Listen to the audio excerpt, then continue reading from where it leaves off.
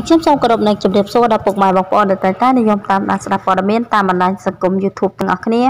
ថ្ងៃនេះដែរនេះខ្ញុំបានលើកយកព័ត៌មានថ្មីមួយទៀតហើយយកមកចែកជូនពុកម៉ែបងប្អូននិងប្រិយមិត្តទាំងអស់គ្នាបានដឹងដែលមានចម្លងជើងថា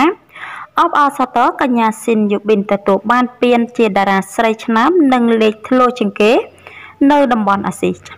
ចាត់តមកនឹងឈានចូលដល់ព័ត៌មានសូមពុកម៉ែបងប្អូនមេត្តាចុច Like Share Subscribe និងសញ្ញារូបកណ្ដឹងដើម្បីទទួលបានព័ត៌មានថ្មីៗជារៀងរាល់ថ្ងៃចា៎ តារាសម្ដែងស្រីរូបស្រស់កញ្ញាស៊ីនយូប៊ិនត្រូវបានទស្សនិកជនបងសង្កេតឃើញថានាងមានប្រជាប្រិយភាពយ៉ាងខ្លាំងព្រមទាំងមានការគ្រប់គ្រងទាំងទស្សនិកជនក្នុងនិងក្រៅស្រុកទៀតផងចា៎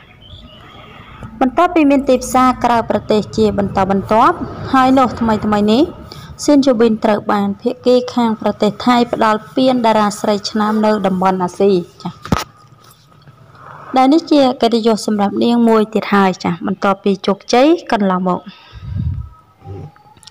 ដោយពេលថ្មីថ្មីនេះកញ្ញាស៊ីនយូប៊ីនទើបតែទទួលបានពានរង្វាន់តារាស្រីឆ្នាំនៅតំបន់អាស៊ីដែលផ្ដល់ដោយប្រទេសថៃរូបនាង គឺជាតារាស្រីកម្ពុជាតែម្នាក់គត់ដែលមានចិត្តសន្តោសដែលបានសាងស្នាដៃល្អនិងលេចធ្លោនៅតំបន់អាស៊ី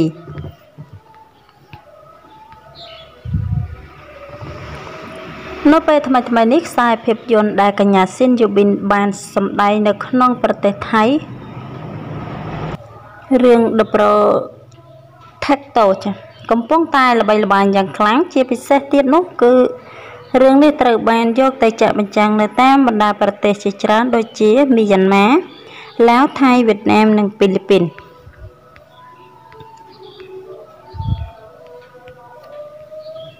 ចាចឹងចាំព័ត៌មានយើងគឺមានតែប៉ុណ្្នឹងទេនឹងខ្ញុំសូមបញ្ចប់ព័ត៌មានយើងតែត្រឹមនេះសូមអរគុណសម្រាប់ការតាមដានស្ដាប់របស់ពុកម៉ែបងប្អូននិងប្រិយមិត្តទាំងអស់ចាសូមអរគុណសូមជម្រាបលា